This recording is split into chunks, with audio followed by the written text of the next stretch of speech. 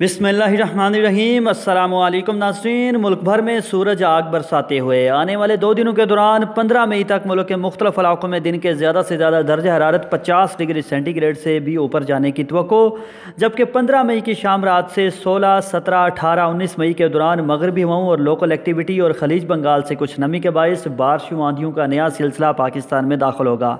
तफसील के मुताबिक आज से पंद्रह मई के दौरान मुल्क भर में शदीद गर्मी के साथ साथ मुख्तलिफ़ वस्ती और जनूबी इलाकों में में तेज़ गर्दलुद हवाई और झक्कड़ चलने की तो भी है, इसलिए शहरी मोहतात रहें, अपना और दूसरे जानदारों का भी ख़ास ख्याल रखें।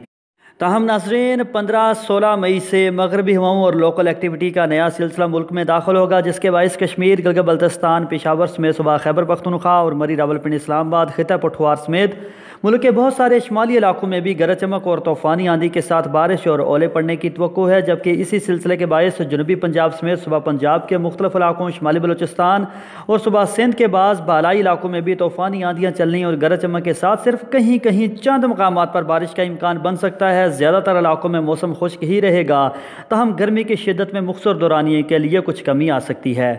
वेदर लवर्स आपको बड़ी खुशखबरी भी देता चलूँ कि मई के आखिरी हफ़्ते के दौरान मुल्क के मुख्तलिफ़ इलाकों में प्री मानसून बारिशों का आगाज़ हो जाएगा और इस दौरान मुख्तलिफ़ इलाकों में गरज चमक और तेज़ आंधी के साथ मूसलाधार बारिशें भी देखने को मिलेंगी। जबकि जून के महीने में बाकायदा मानसून बारिशों के बायस मुल्क भर से कराची तक कश्मीर खुश्क साली का मुकम्मल तौर पर ख़ात्मा होने वाला है शदीद गर्मी की तरह। मानसून दो हज़ार बाईस भी मुल्क भर में शदीद बारिशों का बायस बनेगा। तैयारी मुकम्मल कर लें।